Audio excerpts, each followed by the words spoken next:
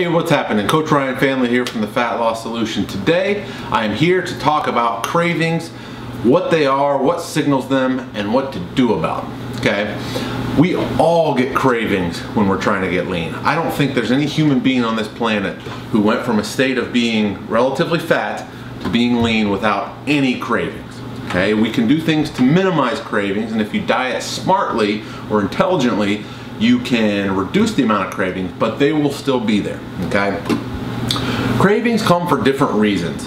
You have psychological cravings and you have physiological cravings.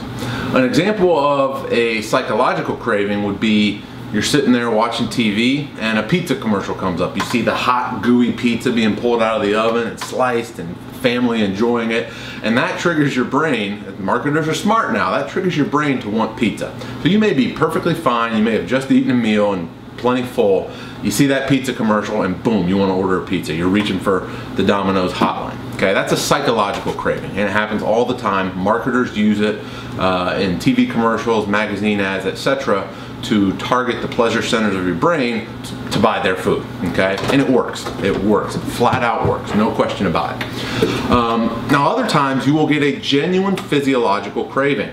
This is your body telling you that it wants you to eat something. So if you went for say 24 hours with no food, you just stopped eating food, you would get physiological cravings. You would get feelings of hunger pangs and an upset stomach, maybe a little bit of nausea, lightheadedness, and those are all signals that your body is telling you you need food. Um, now, physiological cravings can come along for many reasons. One of the most one of the biggest reasons that physiological cra cravings come on is because calories are too low.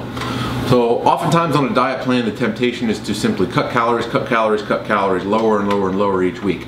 Um, and when you cut calories too low, your body has cravings. It's natural. Your body's telling you that you need more food and you're purposely not giving it as much food as it requires in an effort to shed body fat. Okay, and some of this is necessary from time to time, but uh, that's one reason. Another reason you get physiological cravings is because you have cut out a certain macronutrient. So the macronutrients, we have proteins, carbs, fats, and then there's alcohol, but we, we'll, we will not count that one. Uh, if you go on a low carb diet, in, the, in that first phase where your body's transitioning chemically to be able to process fat better, you will get carbohydrate cravings, even if you're eating high calories. Okay, so you could be eating a surplus of calories over and above what you need for the day, and you'll still get carbohydrate cravings because you've cut out that macronutrient, you've cut out carbs. Um, another reason you'll get physiological cravings is because your body may need a certain nutrient to execute a physiological process. Okay, and one example of this is with young kids. Um, there will be certain stages in a child's development where they will crave and eat fat. Okay, you may see your child reach on the on the table for a stick of butter and just start eating the stick of butter straight up. Okay, this is at a time when their body needs that fat, specifically saturated fat, for chemical processes such as brain development. Okay, saturated fat is crucial for brain development. So at times when uh, kids seem to want fatty foods or be reaching for fatty foods, that's a sign that their brain is developing at that time and it needs that fat. Okay, so that's another reason. And then finally, another another reason that you may get cravings is because your body may need to rebalance brain neurotransmitters. Brain neurotransmitters are basically your brain chemicals, and that's how your brain communicates uh, with itself. So, one example is with the neurotransmitter called serotonin. Serotonin is a chemical that makes you feel happy and or sleepy, okay? Carbohydrates, specifically sugary carbohydrates, stimulate the release of serotonin. So stimulate the happy sleepy. So in times where you may be depressed, for example, if you had a tragic event in your life or you're just feeling down in the dumps, had a bad day even, your body will know that something is off and that it needs to rebalance the neurotransmitters and that's when you reach for the cookies, right? So you have a bad day at work, you come home, you reach for the cookies, you reach for the chips, you reach for the Skittles.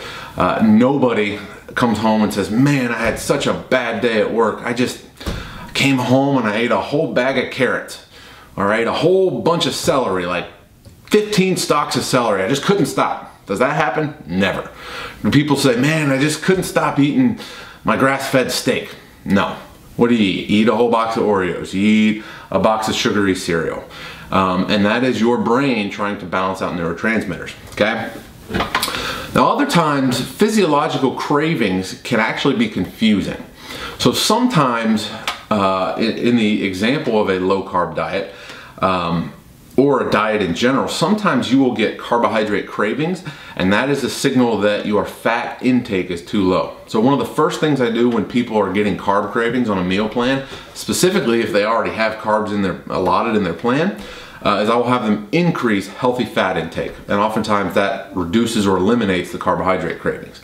Um, now, most of the time, though. Okay, so we've, we've gone over some, some areas where your body may require something. In the case of a developing child, the cravings signify that your body needs something. But most of the time, if your goal is fat loss, you need to simply ignore cravings and do your best to put them out of your mind. Um, it's okay to be mildly hungry throughout a fat loss diet. I mean, you're trying to lose body fat after all. So it's common and it's normal. But what can you do to deal with these cravings? And today I'm gonna give you a few tips of how to get the cravings out of your mind or vanquish them or just get them out so that you don't have to deal with them, okay? First one, this is simple. You get a craving for something, pop in a stick of chewing gum preferably if it's uh, sweetened with xylitol or stevia. Those are two acceptable uh, sweeteners that are allowed to be in your gum um, that won't impact blood sugar. So chewing gum, uh, it stimulates the salivary response in your body and your body, it almost tricks your body to believe you're eating. So that can help cut back on the cravings. Next one is when you get a craving, get up and do 50 body weight squats and 30 push-ups. This is not a workout, this is not for a training effect. This is because exercise stimulates endorphins that oftentimes, you know, you will you may, you may get cravings when you don't have enough endorphins in your system. So this will boost endorphins and cut back on your hunger, okay? Now this is gonna be silly. You're, you're not gonna do that in an office, in a suit, you know, at a business lunch or something, but if you're at home, that's a, that's a viable option. Next one, this is an important one, is to drink 12 ounces or more of water. Thirst is very often misinterpreted as hunger. And so when you think you're jonesing for you know that moon pie you may just need to drink some water and oftentimes drinking that water will cut out the cravings and you won't feel hungry anymore another one is to brush your teeth sounds crazy but we have rituals in our day and so part of that tip is that after you brush your teeth, you know, when you're going to bed, you don't eat after that. And so part of it is ritualistic. The other part of it is a lot of junk food will taste bad after you've brushed your teeth. So brushing your teeth can help uh, kill your cravings. The next two are good if you're on a low carb diet plan and you're not really tracking calories or, or fat grams or anything like that. Um, the first thing is to put 10 grams of glutamine powder into two ounces of organic heavy cream. This is probably the best trick to stop carb cravings in its tracks. Glutamine is an amino acid that has transamination properties, so it can do the job of carbs without actually taking in carbs in some cases. So sometimes glutamine will help. Heavy cream is a good, good clean fat source if it's organic. Um, and as I said before, a lot of carb cravings are due to fats that are too low, so this helps boost it. And another one finally is um, take one tablespoon of coconut oil, put it in your mouth, and then swish it in and out of your teeth for 10 to 20 minutes. This does a couple things for you. One, it activates the salivary response. Two, it boosts healthy fat intake, which can cut down on carb cravings. And then three, pretty cool, it also helps get rid of uh, harmful bacteria in your mouth and is good for your teeth. So that's called coconut oil pulling, and it's a good craving killer that I use. Uh, I hope these tips help you. I hope you find some use for them uh, in your dieting efforts uh, to get lean. I'm Coach Ryan Faehnle from the Fat Loss Solution. I'll see you next time.